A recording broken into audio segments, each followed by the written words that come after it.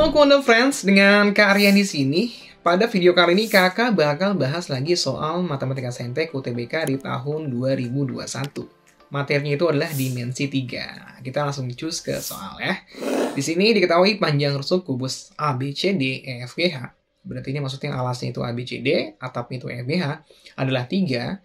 Jika P adalah titik pada EC dengan perbandingan antara panjang EP dan panjang PC-nya itu 1 banding 5, yang ditanyakan adalah jarak P ke H gitu.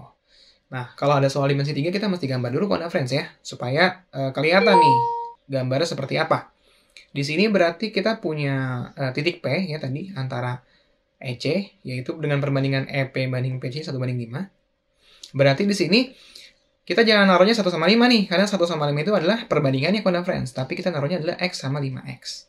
Karena 1 banding 5. Kalau 2 banding 5 berarti 2X sama 5, 5X eh, gitu ya. Jadi jangan sampai nulis hanya angka aja. Karena di rusuknya 3, berarti ini 3. Ini 3, ini 3 gitu ya. Terus karena kita mau cari panjang HP, nah kakak bakal keluarkan segitiga EHC nih. Kontak friends, seperti baik-baik. EHC itu siku-siku di H ya. Nah, ini kalau kakak keluarkan gambarnya akan seperti ini. Jadi ini adalah siku-siku di H, ini ini E, ini juga si C, terus ini si P ya, di sini P. Nah, ini yang kita cari nih si HP-nya. Nah, di sini kita mesti punya uh, apa ya? Uh, sudut pandang yang bagus, teman-teman. Jadi kalau kita perhatikan di sini kalau kakak perpanjang si P-nya sampai dia sejajar dengan HE ya, sejajar dengan ini. Anggap aja ini R. Maka kalau kalian perhatikan segitiga CPR itu sebangun dengan segitiga CEH. Ya, karena sudut yang bersesuaiannya sama. Oke, nah kalau misalkan dia sudut bersesuaian sama, berarti perbandingan sisinya juga sama. Oke, itu dia ya. Berarti kalau tadi uh, HE itu 3 ya, karena dia rusuk. HE itu 3, di sini 3. Terus CH-nya itu, nah CH itu diagonal sisi, konda friends. Jangan sampai lupa nih. Diagonal sisi itu rumus di kubusnya adalah A akar 2 dengan A-nya adalah rusuknya. Berarti si CH ini, ya, ini jaraknya itu adalah, atau panjangnya itu adalah 3 akar 2 si EC itu adalah diagonal ruang. Ya, supaya cepat jangan sampai lupa nih rumusnya. Tinggal ditambahin akar 3 aja atau dikali akar 3 ya. Berarti di sini si CE-nya ini adalah 3 akar 3 karena rusuknya 3. Nah, sekarang perhatikan baik-baik teman-teman. Karena kita mau cari si HP, kita bisa menggunakan Pythagoras nanti. Ya, dengan menggunakan segitiga RPH yang siku-sikunya di R. Berarti kita mesti cari RH sama RP. Gitu kan? Nah, sekarang kita cari RH-nya dulu.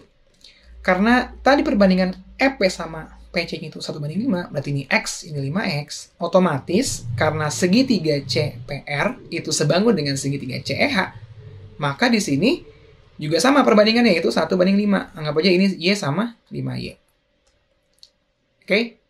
Kayak gitu ya. Nah, berarti di sini, kalau kita mau cari uh, si Y ini, si RH ini, itu gampang, friends. Karena CH itu adalah Y tambah 5Y kan ya. Jadi Y tambah 5Y itu adalah si CH kan.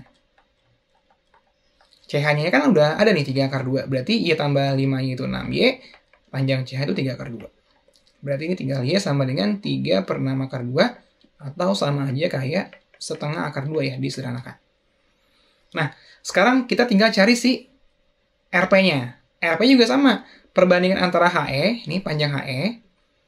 Panjang HE dibanding panjang RP itu akan sama dengan panjang uh, CE CE itu 6X ya atau 3 kali 3 juga boleh sih. Tapi kakak lebih supaya lebih gampang ambil 6X saja. Panjang CE di sini ya dibanding panjang CP. Nah, ya.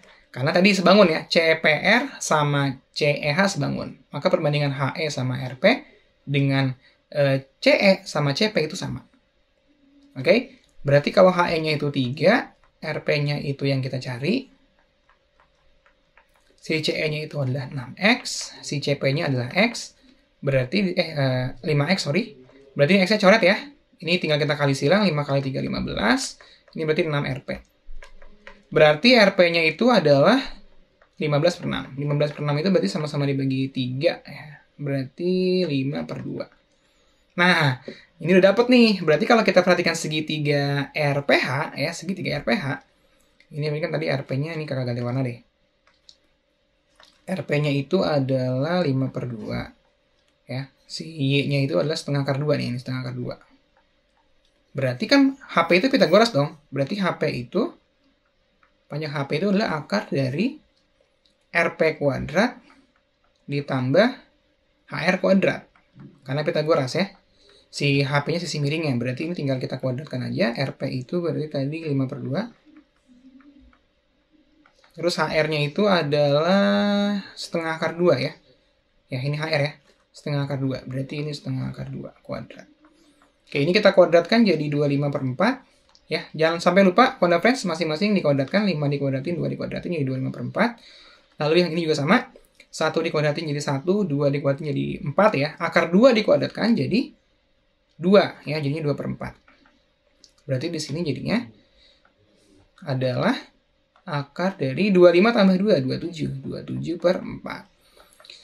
Uh, 27 itu adalah 3 akar 3, terus 4 ini adalah sama aja kayak akar 4 ya, sama aja kayak 2. Berarti ini sama aja kayak 3 per 2 akar 3. Karena akar 27-nya itu adalah 3 akar 3, si 4-nya itu adalah akar 4 itu adalah si 2 gitu. Jadi jawabannya adalah 3 per 2 akar 3. Jadi jawabannya yang C.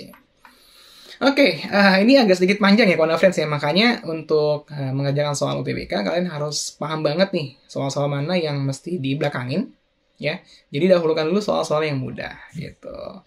Oke, okay, uh, eh, terima kasih Kona Friends sampai sini dulu. Semoga bermanfaat. Jangan lupa ya nantikan lagi video dari kalian selanjutnya. Thank you.